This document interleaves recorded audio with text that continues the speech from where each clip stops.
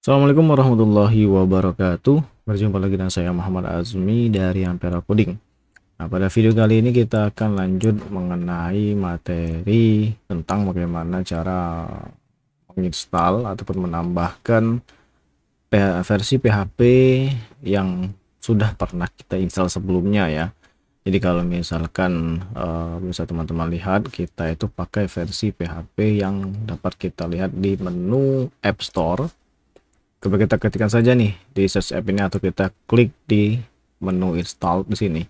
Nanti kita akan ketahui nih kita pakai PHP 7.4 nah kita bisa istilahnya e, menampilkan juga informasi PHP 7.4 ini di dashboard ataupun di menu home itu di pilihan kolom display on dashboard. Nah kalau saya klik ini maka dia akan tampil juga di dashboard.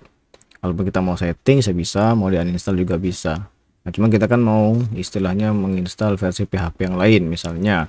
Di sini kan terinstall versi PHP 7.4 nah, tapi kita mau coba misalnya menginstal versi PHP 8 misalnya. Nah, kita bisa klik saja di search app ini ketikan PHP nanti akan muncul nih versi-versinya. Uh, versi 8 73 72 dan seterusnya ya. Lalu misalnya kita mau install versi uh, eh, PHP yang lain misalnya di 8 titik uh, satu misalnya ya di sini. Nah, kita bisa klik saja nih tombol install yang ada di bagian kanan di sini. Kita klik tombol install. Nah di sini ada dua pilihan nih mau method compile atau method yang fast. Nah, kalau saya sih biasanya mau yang fast saja yang cepat. Jadi nggak perlu lama kita menunggu proses instalasinya. Nah kita tinggal klik tombol submit. Are you sure to install PHP 1 klik confirm.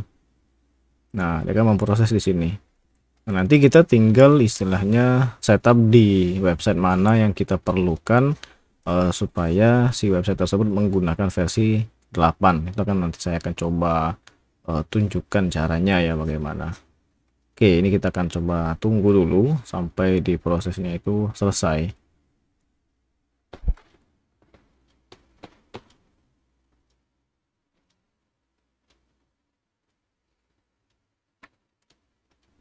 Oke, jadi prosesnya sudah selesai ya.